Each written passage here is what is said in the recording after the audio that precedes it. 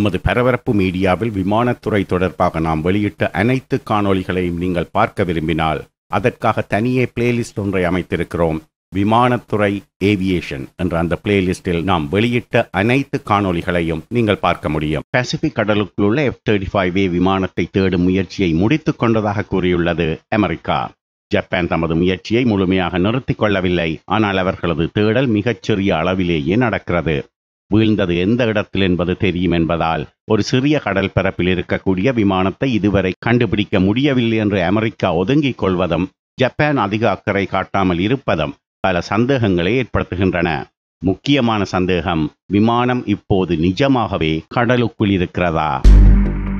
விமானம் ஜப்பானுக்கு சொந்தமான விமானம் என்ற போதிலும் அது ஒரு அமெரிக்க தயாரிப்பு விமானம். அமெரிக்க தொழில்நுட்பத்தின் உச்சம் என்று கூறப்படும் விமானம் அந்த விமானத்தின் பாகங்களை வைத்தே பல தொழில்நுட்ப ரகசியங்களை ரஷ்யாவோ சீனாவோ தெரிந்து கொள்ள முடியும். அதன் பின் அமெரிக்காவின் அதி தொழில்நுட்ப விமானத்தின் பாதுகாப்பே கேள்விக்குறியாகிவிடும். எஃப் தேர்ட்டி ஃபைவ் ரக விமானத்தை எப்படி எதிர்கொள்ள வேண்டும் என்று ரஷ்யாவும் சீனாவும் சுலபமாக தெரிந்து கொள்வார்கள்.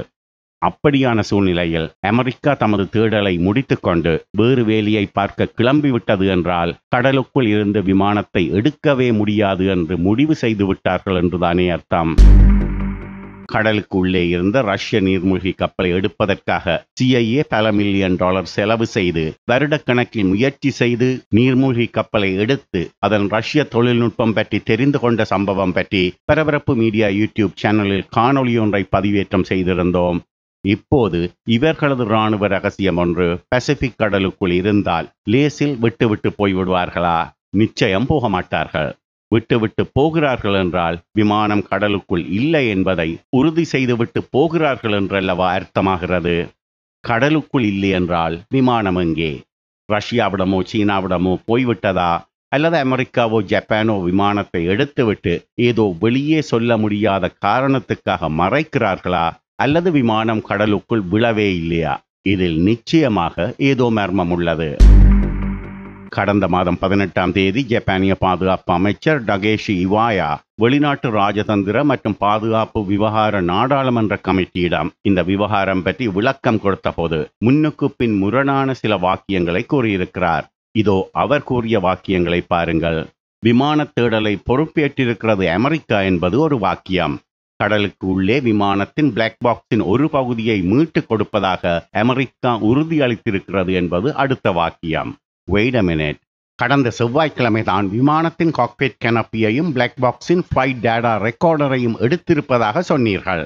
ஆனால் கடந்த மாதம் பதினெட்டாம் தேதியே ஒரு பகுதியை அமெரிக்கா எடுத்துக் கொடுக்கும் என்ற கதை எப்படி வந்தது?